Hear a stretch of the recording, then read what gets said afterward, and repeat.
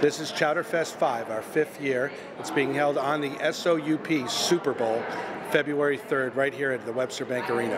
Chowdafest is a fundraiser for the Connecticut Food Bank where people pay to be a judge.